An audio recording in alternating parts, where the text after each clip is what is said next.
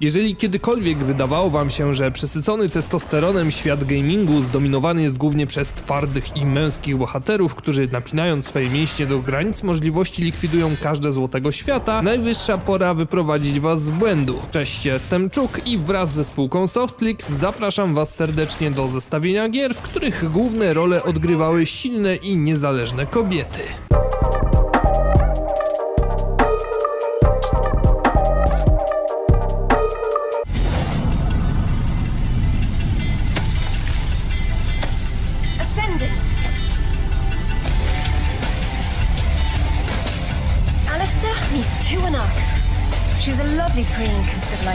Oczywistym jest, że w materiale na temat płci pięknej w grach postacią, której pominąć absolutnie nie można jest słynna pani archeolog Lara Croft, która na przestrzeni kilkunastu gier głównych, spin-offów i licznych występów gościnnych w innych mediach nie tylko doczekała się miana jednej z najpopularniejszych żeńskich bohaterek w grach wszechczasów, ale i co najmniej kilku liftingów swojego wyglądu. Tak czy inaczej, bez względu na to, czy swoją przygodę z Tomb Raider zaczniecie od części pierwszej, siódmej czy nawet dziesiątej, za każdym razem będzie to niesamowite doświadczenie z kobietą pełną wdzięku, gracji, urody i zabójczej skuteczności w starciach z przeciwnościami losu.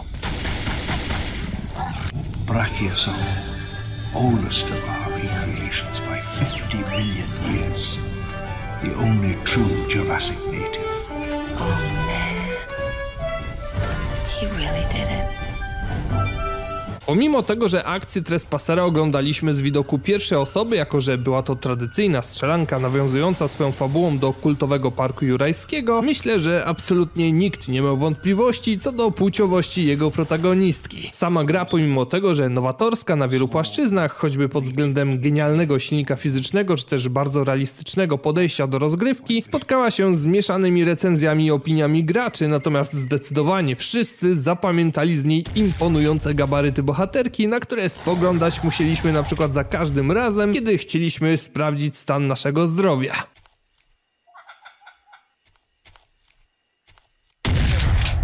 Starcia z dinozaurami to również chleb powszedni uroczej Aloy, którą mogliśmy pokierować w grach z serii Horizon. Jedyna różnica polegała jednak na tym, że gady, z którymi musiała się ona zmierzyć, to tak naprawdę inteligentne i pozostawione same sobie roboty, które zaczęły stwarzać zagrożenie dla ludzkich niedobitków, których to rozwój z kolei cofnął się niemal do epoki kamienia łupanego. Ruda piękność Sony właściwie od razu po premierze stała się jedną z ulubionych bohaterek graczy, którzy cenili ją za niezłomny charakter, upór w dążeniu do celu oraz przesympatyczną aparycję, na którą wprawdzie narzekano odrobinkę przy kontynuacji, zarzucając twórcom zbyt dużą zmianę w wizerunku w stosunku do oryginału, ale ostatecznie takiej bohaterki jak Aloy po prostu nie dało się nie polubić.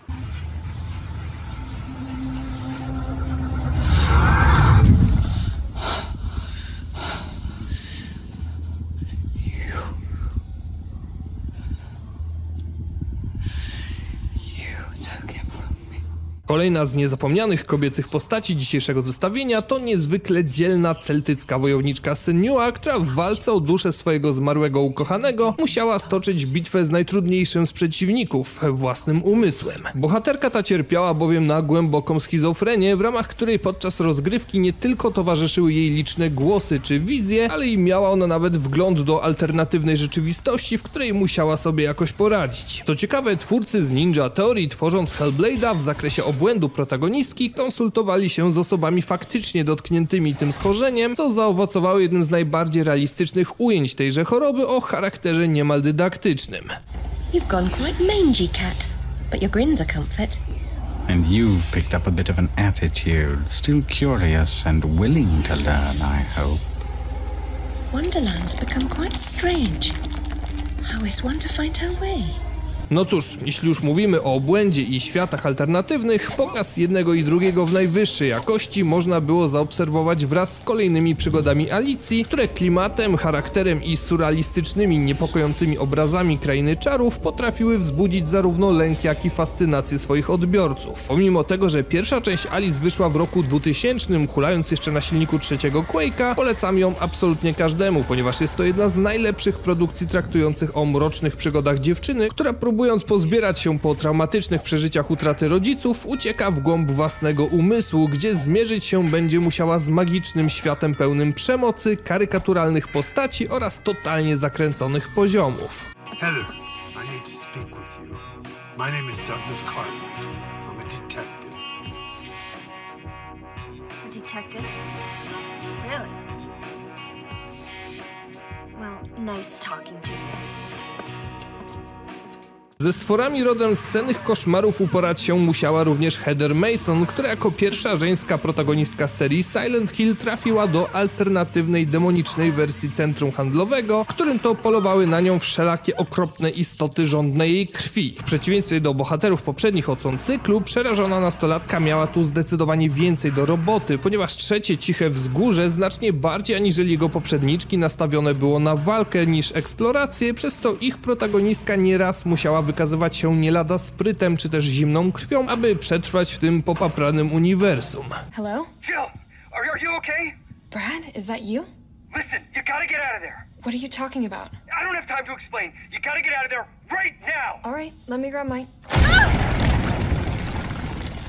A jeżeli wspominamy już klasyczne survival horrory, to oczywiście nie możemy zapomnieć o Jill Valentine, która wprawdzie na przestrzeni całego cyklu Resident Evil pojawiała się wielokrotnie, tak najwięcej czasu mogliśmy z nią spędzić w trójce oraz pobocznym Revelations. Jedna z najbardziej ikonicznych bohaterek kultowej serii Capcomu w swojej własnej części zmierzyć się musiała z niebyle kim, bo z samym Nemezisem we własnej osobie, ale za to przeszkolenie w zakresie walki tudzież sprostania trudnym warunkom posiadała ona również niebyle jakie. Wszak mówimy tu o członkini elitarnej jednostki policyjnej STARS. Rezydenta Trójka, i jego remake można kochać bądź nienawidzić, natomiast Jill bez względu na to sama w sobie jest postacią zaprojektowaną rewelacyjnie.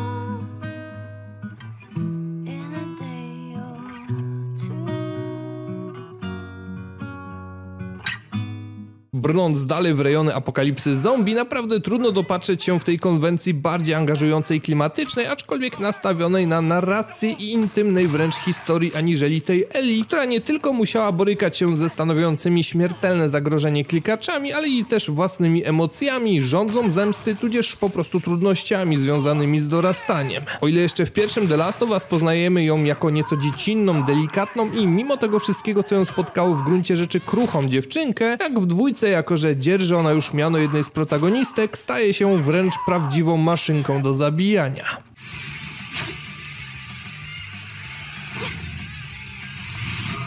Seriously?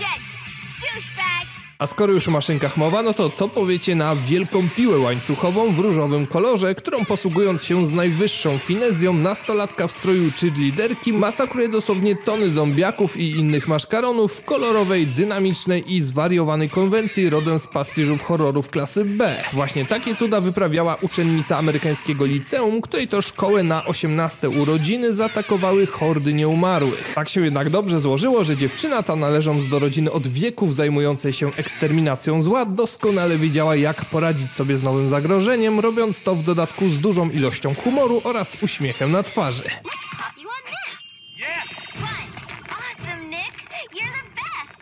W znacznie bardziej egzaltowany sposób ze swoimi wrogami radziła sobie zaś Bajoneta, która za nic miała sobie kolejne anielskie pomioty, próbujące dobrać się do jej skóry, bardzo szczelnie zresztą spowitej zbroją stworzoną z własnych włosów. Przesadnie pewna siebie demoniczna bibliotekarka, dorabiająca sobie po godzinach jako wiedźma, zabierała nas swego czasu w absolutnie zwariowaną podróż w formule hack and slasha, która to bez problemu zawstydzić mogłaby niejedne przygody Dantego z cyklu Devil May Cry i pochodnych, ponieważ dysponowała ona niezwykle szerokim wachlarzem ruchów, ataków czy ewolucji, robiących papkę ze wszystkiego, co podeszło pod jej obcas i to dosłownie.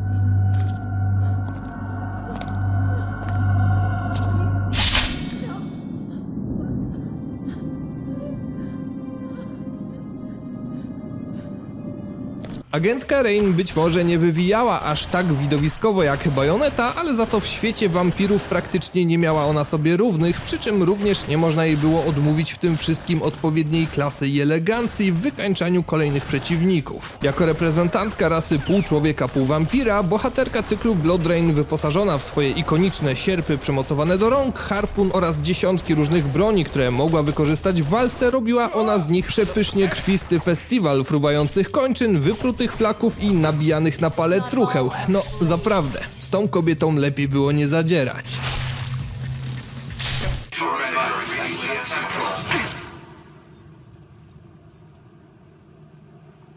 Activating short range attack gear. Alert.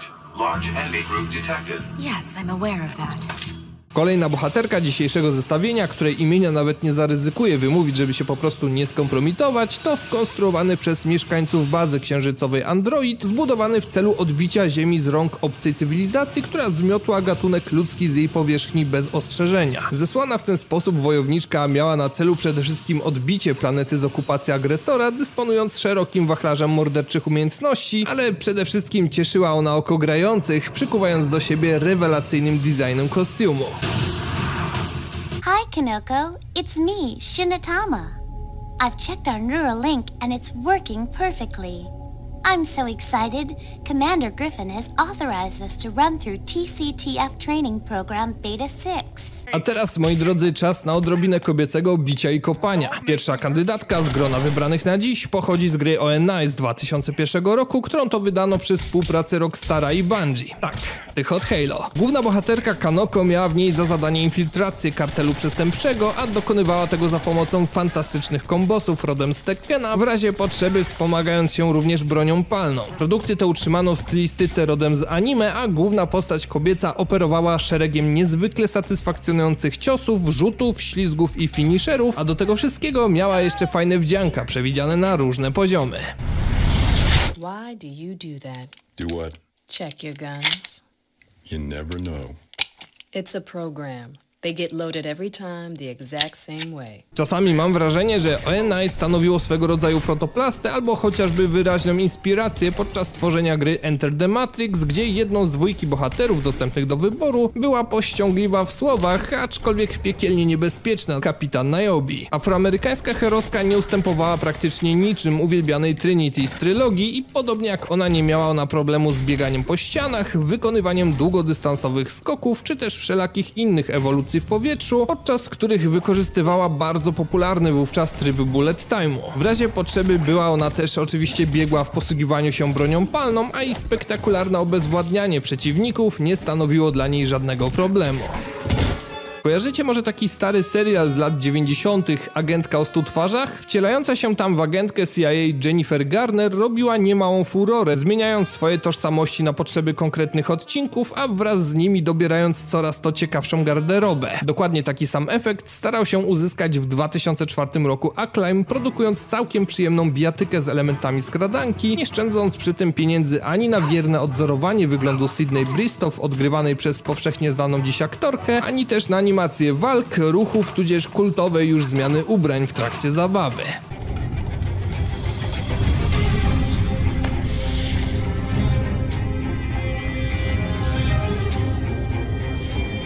If there's one thing I hate about shopping after hours, it's competition.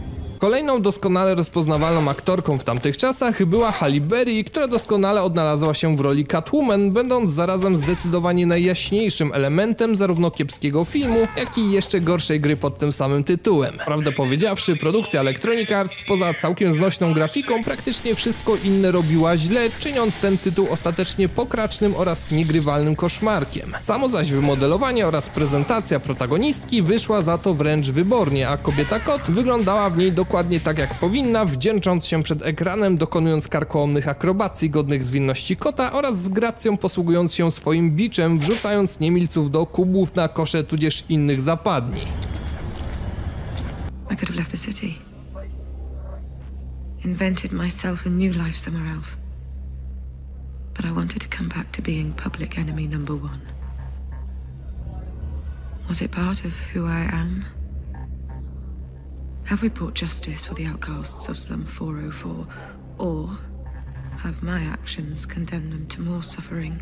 Jeśli oglądaliście dokładnie ostatnie odcinki najlepszych gier z 2013 roku, to z pewnością nie umknęła waszej uwadze pewna futurystyczna piękność o kasztanowych włosach z pasemkami oraz piekielnie długich nogach odzianych w modne dżinsy i długie kozaki. Właśnie tak wyglądała Nilin, a więc łowczyni wspomnień w cyberpunkowym uniwersum stworzonym przez studio Dontnod, która to poza oczywistymi umiejętnościami w walce wręcz posiadała również specyficzny dar do wchodzenia, a następnie manipulowania cudzymi wspomnieniami zachowanymi w formie zapisu elektronicznego. Co ciekawe, Remember Me, czego tutaj wam oczywiście nie pokażę, posiadał specjalnego nude moda, za sprawą którego Nilin mogła sobie hasać przez całą grę tak jak ją Pan Bóg stworzył.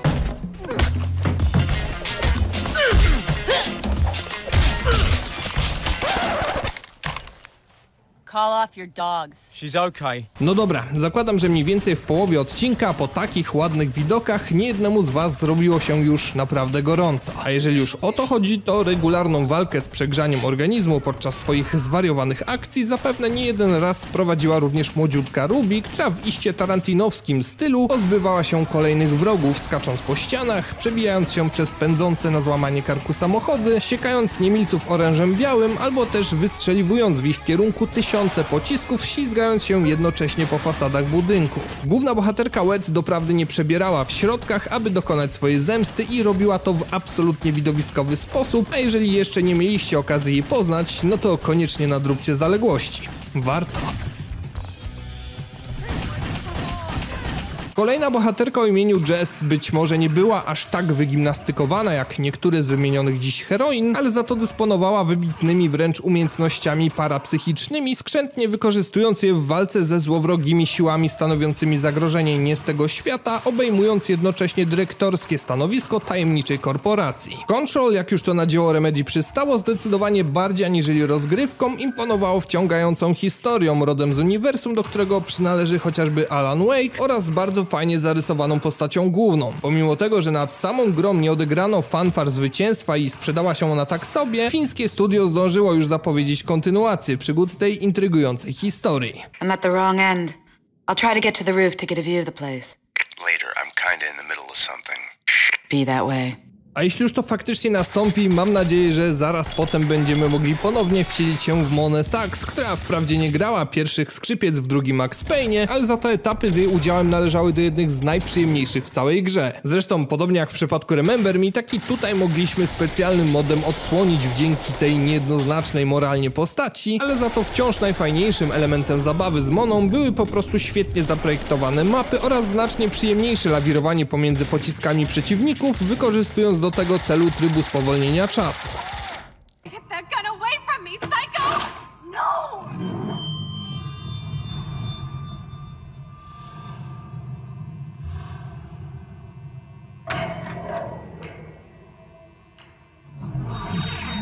Whoa. No właśnie, czas. Krucha i delikatna Max z Life is Strange nie posiadała ani zdumiewającej tężyzny fizycznej, ani tym bardziej jakichkolwiek umiejętności walki wręcz, tudzież posługiwania się bronią palną czy białą. Nie oznaczało to jednak, że w swoich poczynaniach była ona całkowicie bezbronna, ponieważ zupełnie nieświadomie odkryła w sobie talent do manipulacji czasem, dzięki któremu to w ograniczonym zakresie mogła go zatrzymywać, spowalniać czy nawet cofać, rozwiązując w ten sposób przeróżne spory, zagadki środowiskowe czy też napotykane po drodze problemy.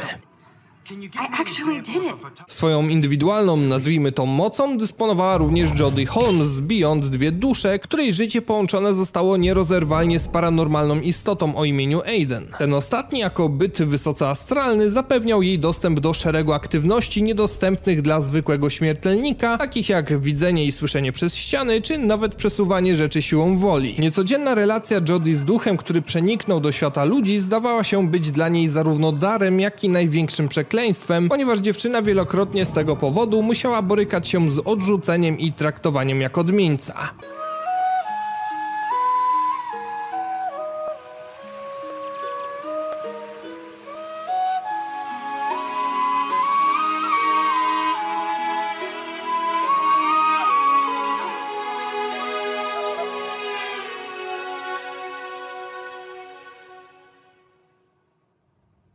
Pomimo pozornie podobnego tytułu, zielonousta Jade's Beyond Good and Evil nie miała zbyt wiele wspólnego z duchami, a i otaczała się też wieloma przyjaciółmi, którzy darzyli ją ogromnym szacunkiem i wsparciem. Na pierwszy plan wysuwał się tu zresztą humanoidalny prosiak PJ, czy też elektroniczny asystent Sekundo, którzy zawsze chętnie oferowali swoją pomoc, kiedy ta akurat wpadała w jakieś kłopoty. Nie ma się zresztą temu co dziwić, ponieważ sama bohaterka to jedna z tych osobowości, których nie da się nie lubić. Zawsze uśmiechnięta, pogodna, i troskliwa w stosunku do swoich bliskich. No i niech tak już może pozostanie, ponieważ Ubisoft kombinowało na przykład, żeby w dwójce zrobić z niej antagonistkę. Ech. Dawniej to miasto pulsowało energią. Brudne i niebezpieczne, ale żywe i cudowne. Teraz jest zupełnie inne. Kolejna dziarska babeczka, której stylówka przypominała nieco postaci rodem z anime, to Faith Connors, która w rewelacyjnym Mirror's Edge śmigała po gigantycznych wieżowcach lepiej niż niejeden mistrz parkouru, zwinnie prześlizgując się po dachach, przeskakując niczym kot pomiędzy szczebelkami oraz bez problemu biegając po gładkich ścianach niczym książę Persji na bullet time. Choć strzelcem wyborowym nigdy ona nie była, to czasem również chwytała i za karabin, ale jednak to nieustanny pęd i dynamiczne pościgi w miejskiej dystopijnej dżungli wychodziły jej z zdecydowanie najlepiej. Looks like someone's in dire need of coffee. Hell yeah! Here you are. Twardo po ziemi stąpać musiała za to Victoria McPherson, którą zobaczyć można było w obu częściach przygodówki Still Life, ponieważ jej zadanie było zupełnie przyziemne, aczkolwiek absolutnie nie należące do tych przyjemnych. Musiała ona bowiem rozwiązać zagadkę serii brutalnych morderstw, które nawiedziły Chicago oraz odnaleźć w nich podobieństwa do łudząco podobnej sprawy prowadzonej przed laty przez jej dziadka. Największym orężem agentki FBI był więc zatem jej niezłomny umysł i łatwość w kojarzeniu faktów, aczkolwiek jak to przystało na wyszkolonego agenta federalnego, również i ona z niejednej beznadziejnej opresji potrafiła wyjść obronną ręką.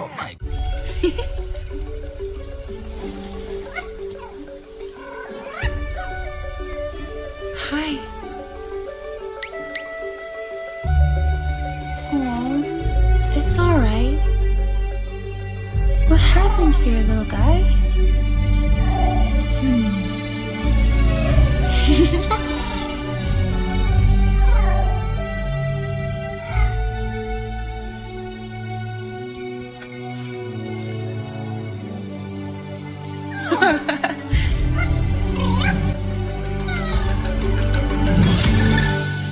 Mówcie co chcecie, ale osobiście absolutnie uwielbiam kinę, natomiast Bridge of Spirits, które wyszło pod koniec 2021 roku, uważam za jedną z najlepszych produkcji tegoż okresu. Tytułową dziewczynę o bajkowych, iście disneyowskich rysach przedstawiono w niej jako przemiłą i uroczą przewodniczkę dusz, pragnącą uleczyć rozległy i piękny las zamieszkany przez różne istoty ze złej energii, która to wpływała na jego coraz gorszą kondycję. Kina pomimo pogodnego i pozytywnego nastawienia w swoich poczynaniach nigdy nie była bezbronna, ponieważ nie tylko świetnie radziła sobie w walce z bronią białą, energetycznym łukiem, tudzież różnymi umiejętnościami specjalnymi, ale i bez problemu wspinała się na wielkie skały, przeskakiwała duże przepaści, czy też wykonywała zgrabne uniki, wyprowadzając potężne kontrataki.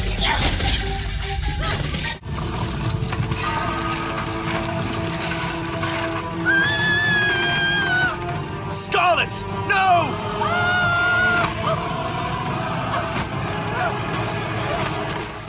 Scarlett z niemieckiej Venetiki to z kolei nie tyle co przewodniczka zagubionych dusz pomiędzy światem żywych a umarłych, a wręcz ziemskie uosobienie samej śmierci, której zresztą jest córką.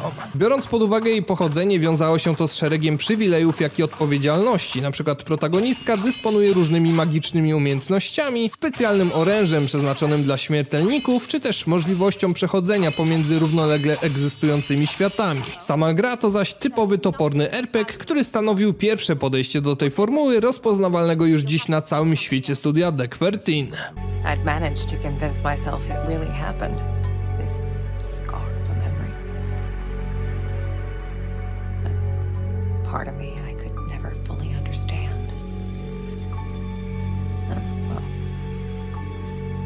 To wasn't the only part. A Polacy, jak to Polacy, również nie gęsi i swoją przedstawicielkę w grach wideo mają. Żeby było jeszcze ciekawiej, Marianna, bo takie imię nosi tytułowe medium, to kobieta obdarzona darem widzenia duchów, a nawet podobnie jak Scarlett, przemierzania równoległych światów życia i śmierci, choć w zupełnie innym celu. Dzieło Bloober Team, bowiem inspirowane pierwszymi odsłonami Silent Hilla, to gra z pogranicza survival horroru i przygodówki, która imponowała świetną oprawą graficzną i klimacikiem rodem z okresu PRL-u.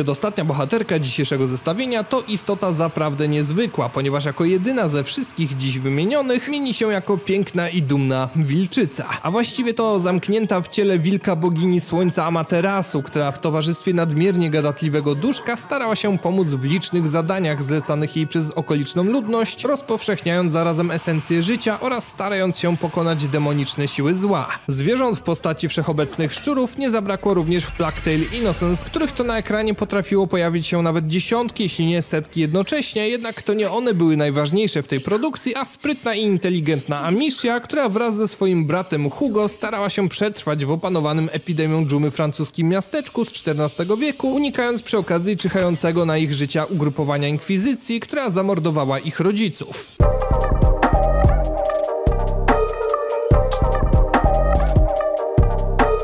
I to by było na tyle, jeśli chodzi o moje pierwsze zestawienie stworzone wraz ze spółką Softflix, w którym przedstawiłem wam aż 30 różnych ciekawych kobiecych bohaterek, które swoją charyzmą, różnymi ciekawymi umiejętnościami oraz biegłością w obsłudze broni udowodniły, że stanowią doskonały materiał na protagonistki gier wideo z prawdziwego zdarzenia. A wy co o tym myślicie? Macie może jakieś swoje ulubione kobiece postaci, które nadawałyby się na drugą część tego filmu? Jeśli tak, koniecznie wspomnijcie o nich w komentarzach. Tymczasem ja żegnam się z wami i zapraszam was do oglądania pozostałych materiałów na kanale.